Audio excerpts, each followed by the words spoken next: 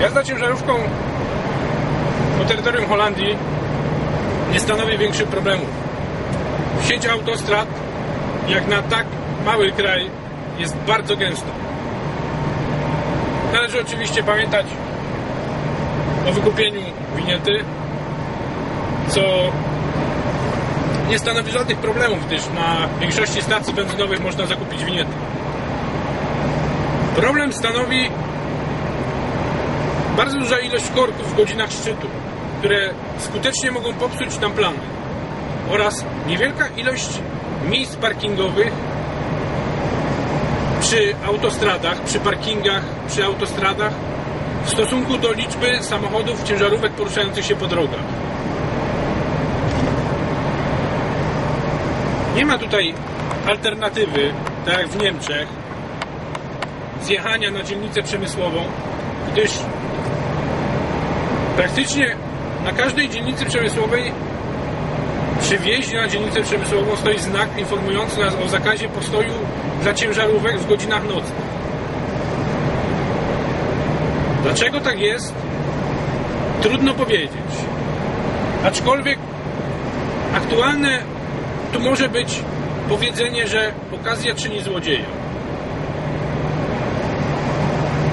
Jakby nie patrzeć, ciężarówka jest mini magazynem na kołach. Czyli postój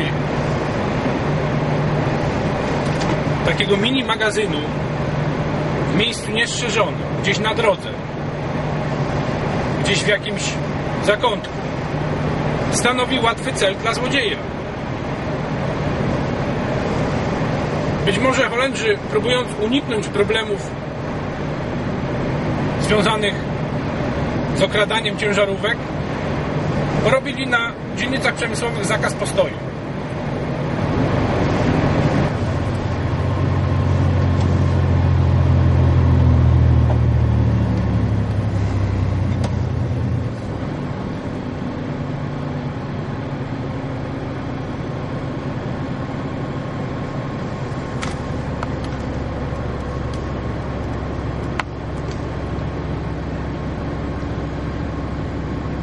Jadę z cysterną.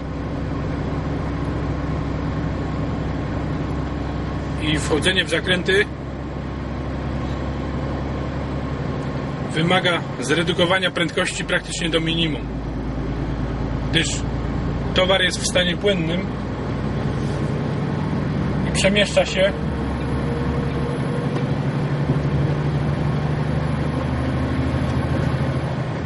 powodując tworzenie się sił odśrodkowych, które mogą spowodować przewrócenie się całego zestawu.